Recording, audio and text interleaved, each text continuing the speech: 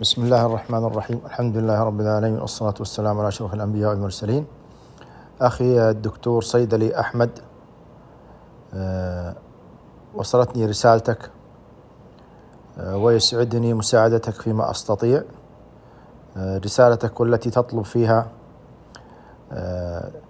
معلومات عن زراعة النخيل وسأقرأ بعض ما ورد في سؤالك الذي وردني على البريد تقول من متابعتي لقناة اليوتيوب قناة خدمات النخيل. وجدت المعلومة النافعة والصادقة لوجه الله تعالى والله حسيبكم. ونسأل الله سبحانه وتعالى أن يجعلنا كذلك ويصلح شأننا وشأن جميع المسلمين.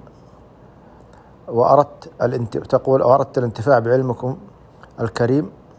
يا أخي ما أنا إلا مزارع وثق معلومات نسأل الله ينفع بها.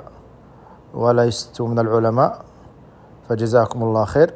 تقول وذلك لمعرفة نظام الري والتسميد بشكل علمي وأيضا الجدوى الاقتصادية من زراعة النخيل من حيث إنتاج التمور والفسائل من بداية الزراعة وحتى بداية الإنتاج لأني إن قدر الله لي أنوي زراعة مئة فدان والفدان 4200 متر مربع نخيل برحي ومجدول بأرضي الصحراوية. بمصر. لذا أرجو التكرم والتفضل بمساعدتي في هذا الأمر عن طريق إمدادي بملف بي دي إف يحتوي الطريقة الصحيحة للزراعة والتسميد السنوي من الزراعة حتى الإنتاج أو كيفية الحصول عليهم بصورة ميسرة من مصادر موثوقة أو من أصحاب آه، نماذج مشاريع آه، مماثلة ناجحة. وأيضا إمدادي أو تعريفي بكيفية الحصول على دراسة التكاليف ودراسة الجدوى من هذا المشروع. في صورة ملف بي دي اف أو خلافة إذا أمكن ذلك لأني أعلم أن زراعة النخيل مكلفة جدا وتحتاج إلى صبر حتى بداية التبشير. والإنتاج هذا ملخص من سؤالكم أخي الكريم الذي وردني على آه، البريد الإلكتروني. فأودت يا أخي أن أجيب بما أعرفه ولعل الله سبحانه وتعالى ينفع بذلك. نسأل الله سبحانه وتعالى أنه آه، يعلمنا ويفهمنا. ويوفقنا أجمع لما يحب ويرضى. أخي زراعة النخيل وهذا الكلام لك ولجميع من يرى في زراعة النخيل آه، الزراعة بمختلف أنواعها آه، هي مهنة أصيلة عند المجتمعات البشرية. فقد كان قوام المجتمعات البشرية على الزراعة لذلك كانت تسمى المجتمعات الزراعية ثم أتت الصناعة فأصبحت المجتمعات الصناعية على حساب الزراعة.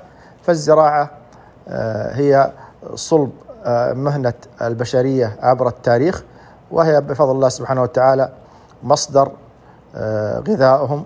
والله سبحانه وتعالى أخرج لهم من الأرض الطيبات وأمرهم أن يأكلوا من الطيبات ويعبدون الله سبحانه وتعالى.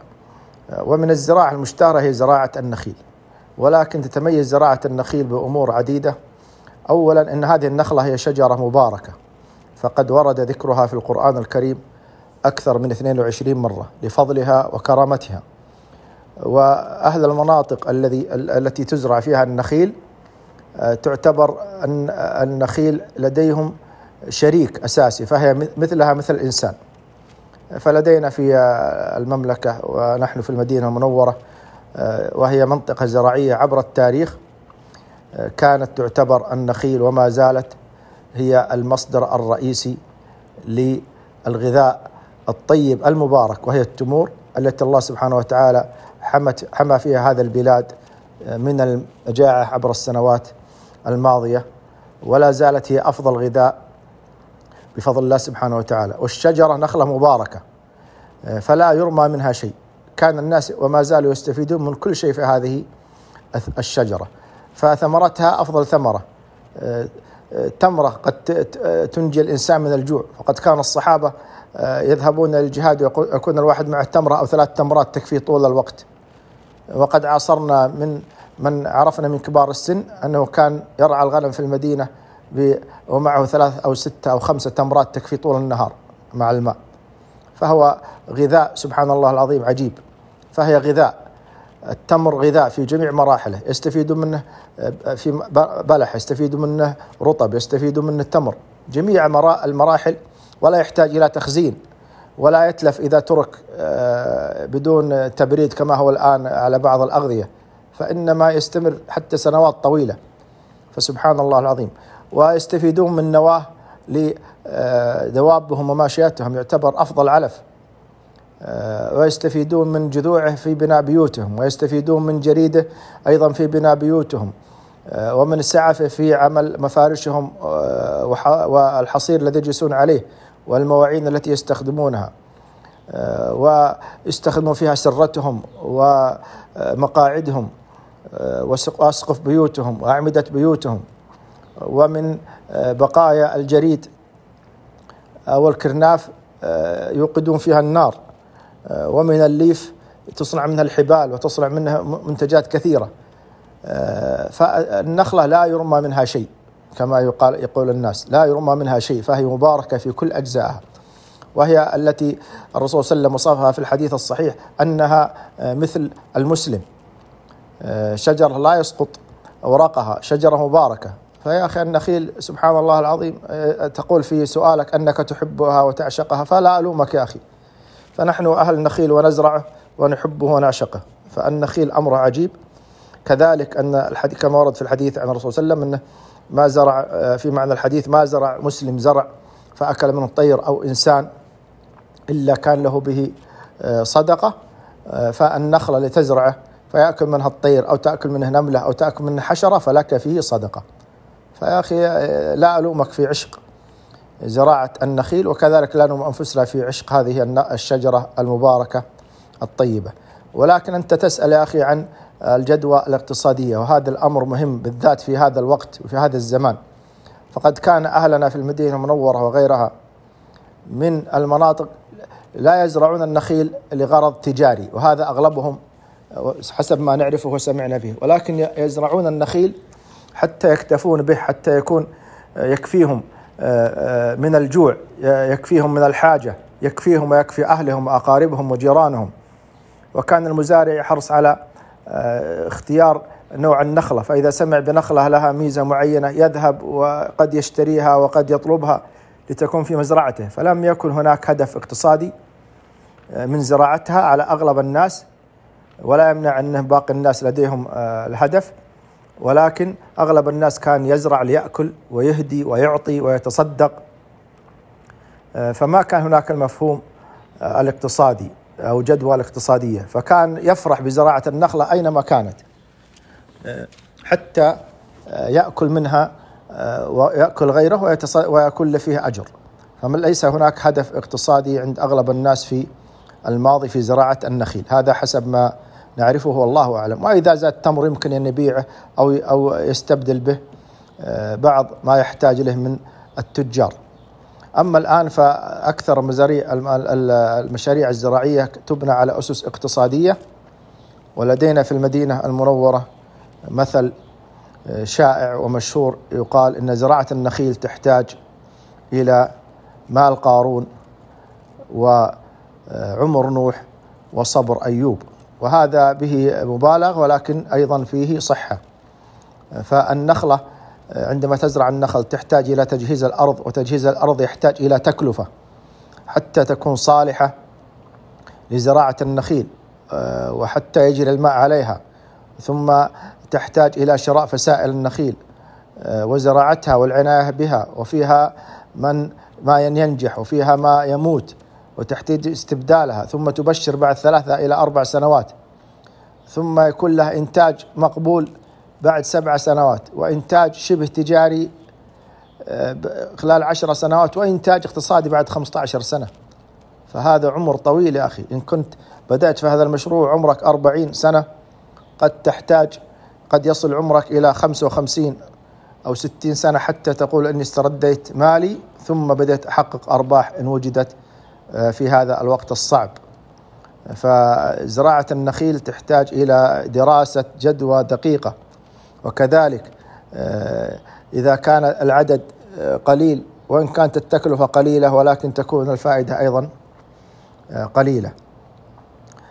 فسألت أنت عن قضية لديك أرض مساحتها 42 ألف فكيف فهل أنصحك بزراعتها؟ بالواقع وماذا تحتاج لزراعتها. يا أخي النصيحة آه، لا أستطيع أن أسديها الآن وقد آه، أفيدك في نهاية هذا المقطع الصوتي الذي أسأل الله سبحانه وتعالى يكون فيه فائدة لك ولمن أيضا يسمع وإن كنت أطلت به ولكن لأن الموضوع طويل ولازم توضيح جميع الجوانب.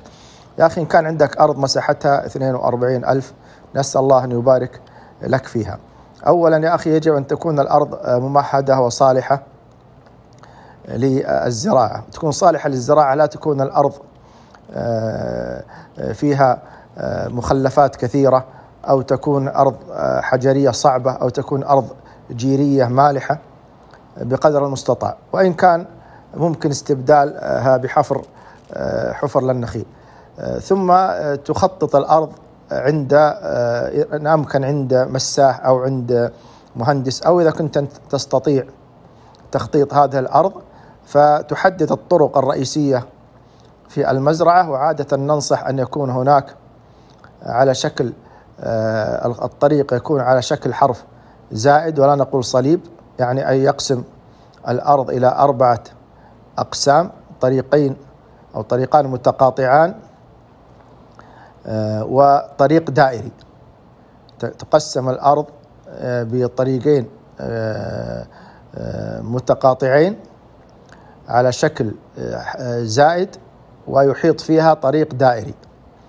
آه، بهذه الطريقة تستطيع الوصول إلى آه، كافة أجزاء المزرعة بكل سهولة عن طريق الطريق الدائري الذي في المزرعة ويتقاطع مع الطرق المتقاطعة داخل المزرعة وهذا يسهل الانتقال للمزرعة ووصول جميع الأماكن بالذات في الخدمة وفي جمع المحصول وتحميله.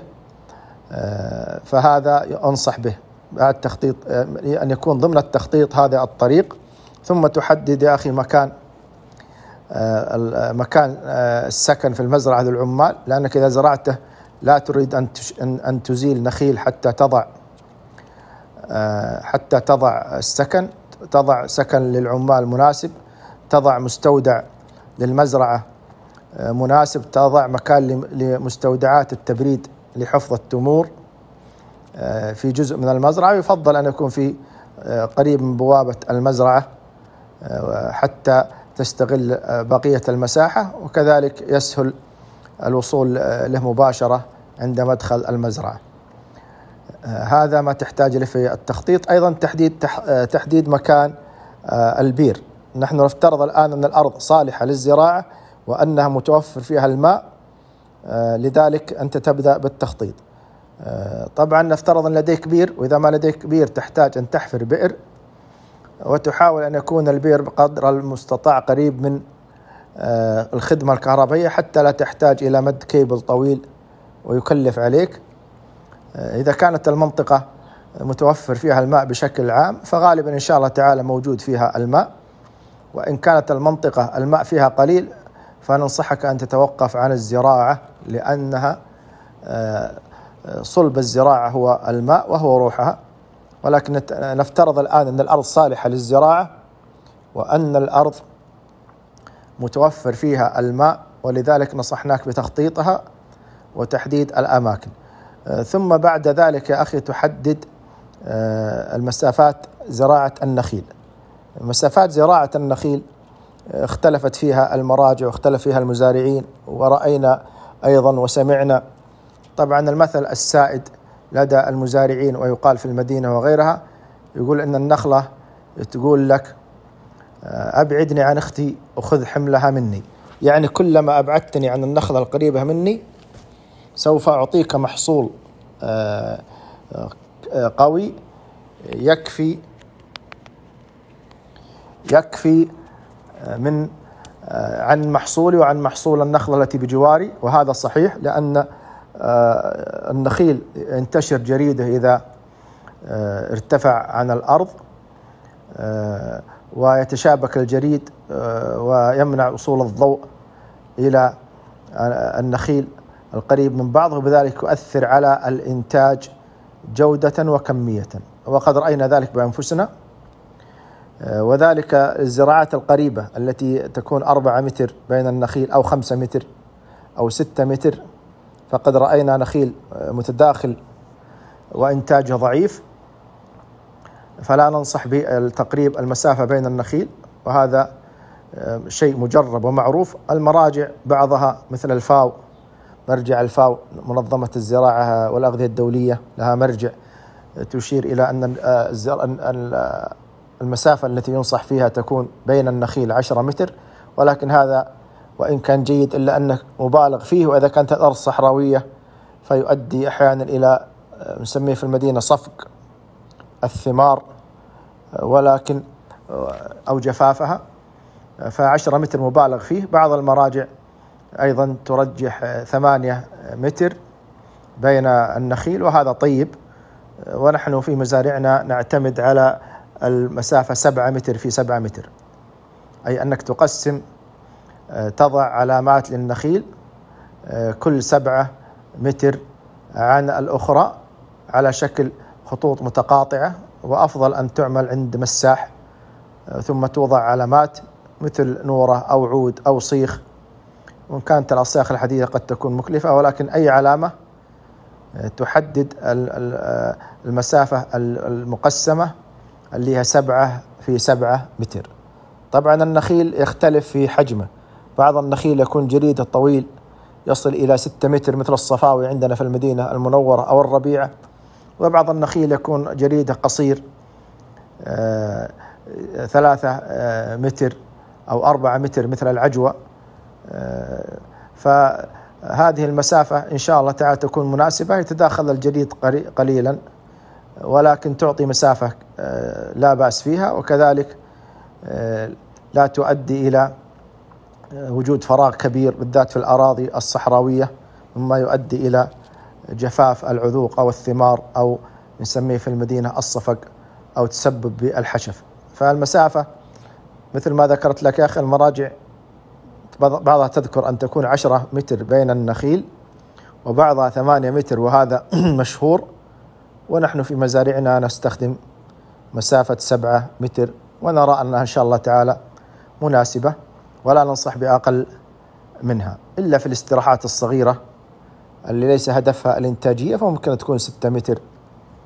هي النخل غير ليس نخل النخل الطويل الجريد أو الضخم.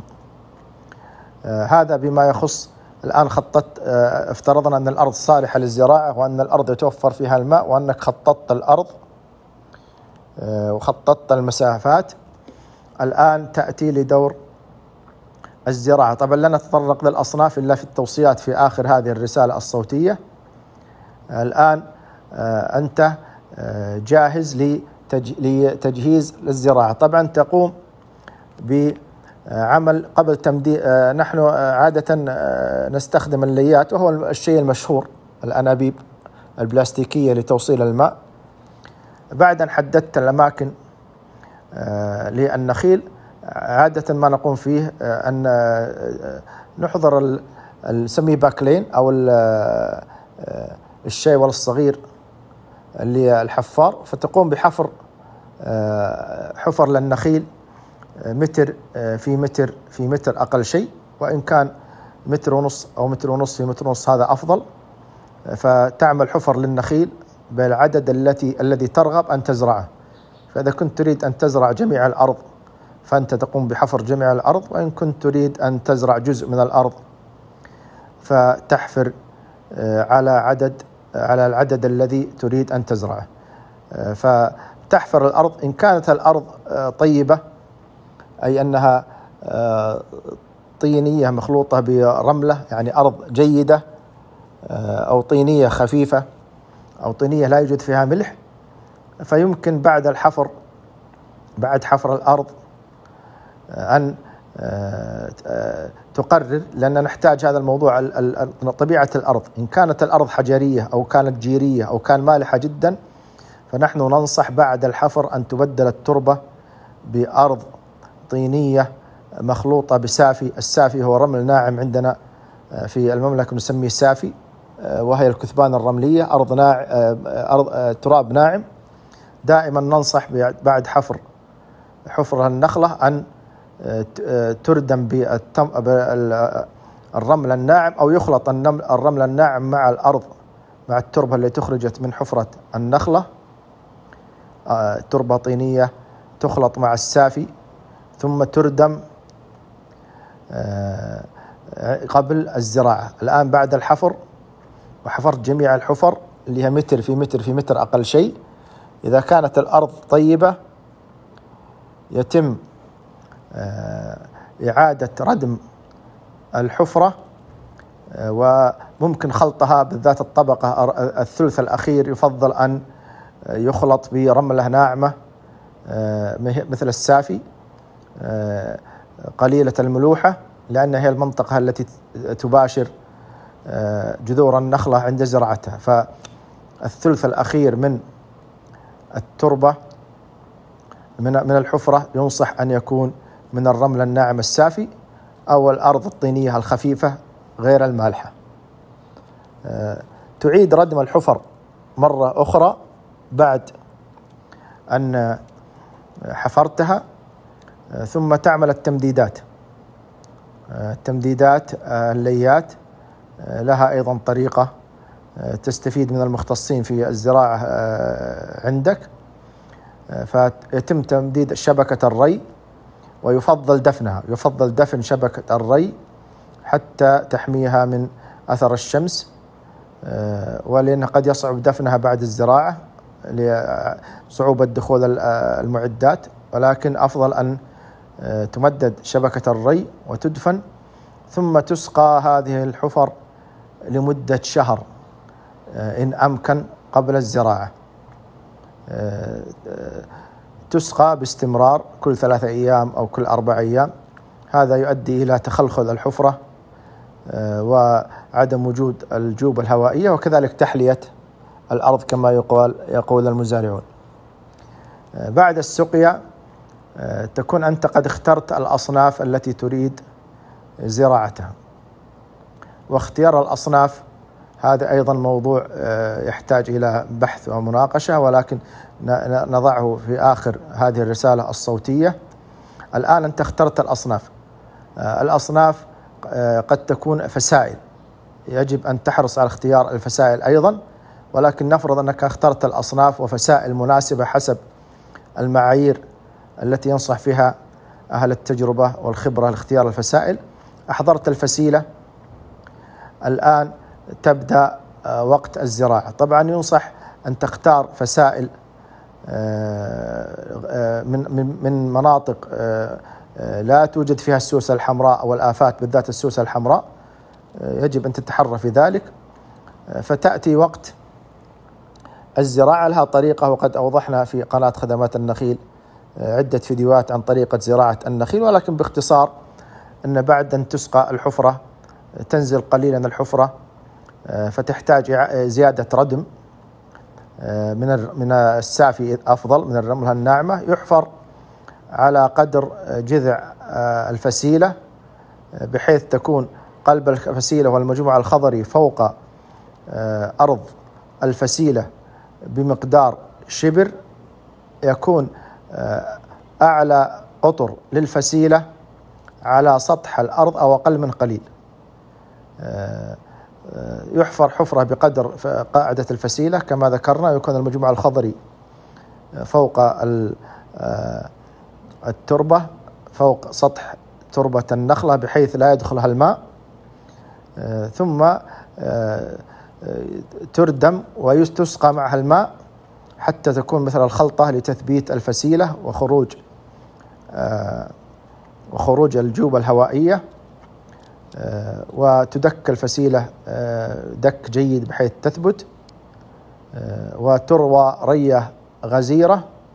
ثم عادة نحن في المدينة كما ينصح فيها المزارعين أنها تسقى الفسيلة بمقدار تنكة تقريبا عشرة أو عشرين لتر يوميا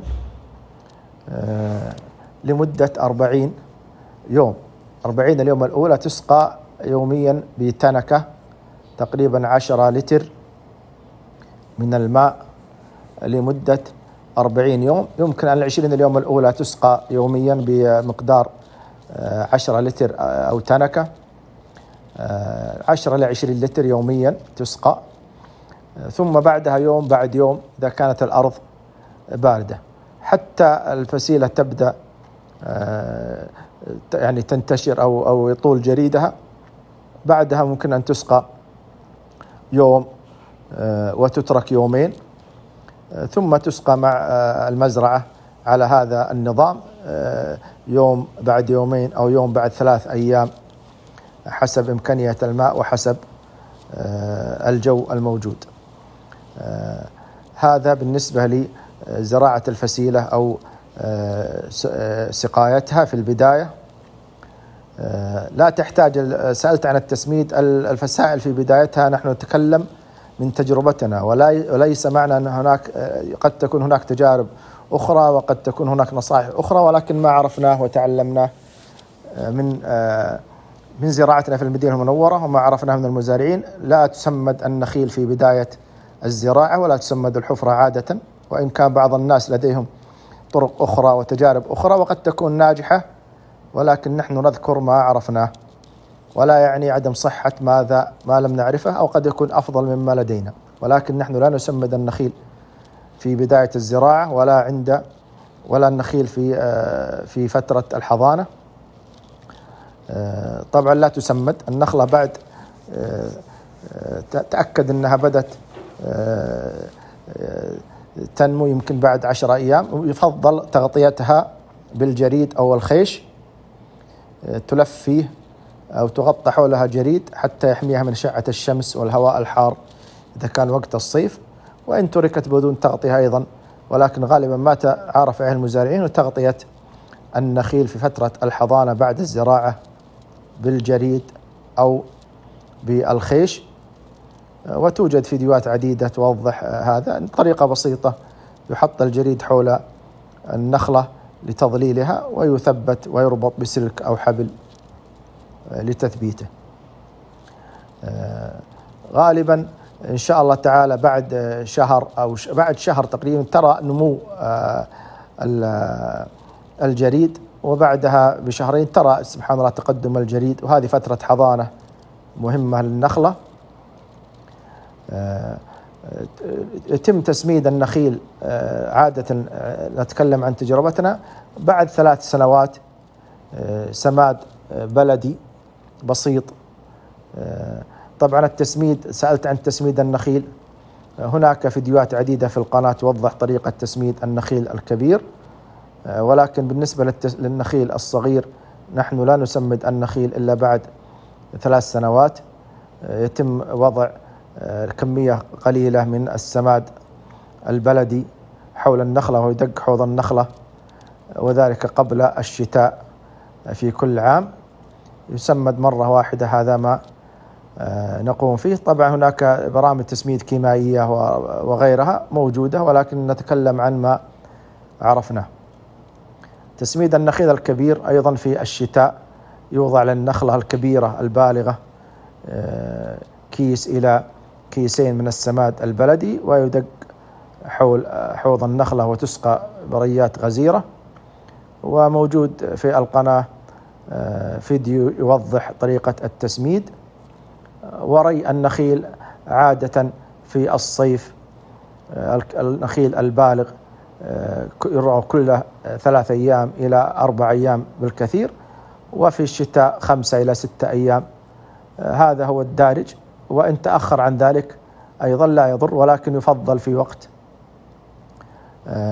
بعد الجداد تكثيف تكثيف الماء كل ثلاث أيام أو أربع أيام وفي الشتاء كل سبعة أيام أو ستة أيام لا يضره. والنخيل بشكل عام إذا زاد الماء عليه أفضل من نقصه إلا في مرحلة نضج الثمار التي يقلل فيها الماء. آه آه هذا آه ملخص الآن أنت آه، زرعت النخل وبانتظار نسأل الله سبحانه وتعالى أن يبارك لنا ولك ولكل من يزرع آه، ونماء النخيل. آه، إذا آه، هذه ملخص عن آه، ما نقوم فيه في طريقة الزراعة وتجهيز الأرض. ثم يأتي يا أخي موضوع الجدوى الاقتصادية. الجدوى الاقتصادية آه، تحتاج إلى دراسة دقيقة وجيدة. أولا اختيار الأصناف. أنت يا أخي الآن تزرع بهدف إذا كنت تزرع بهدف اقتصادي فأنت يجب أن تزرع الأصناف الاقتصادية. ولكل بلد أصناف مشتهر فيها. فإذا كان مشتهر في البلد اللي أنت فيه مثلا البرحي أو المجدول فيجب أن تسأل المزارعين عندك كيف جدوى زراعة هذه المحاصيل الآن وتسأل أكثر من جهة. يجب أن تسأل المزارع وتسأل التاجر وتذهب إلى السوق.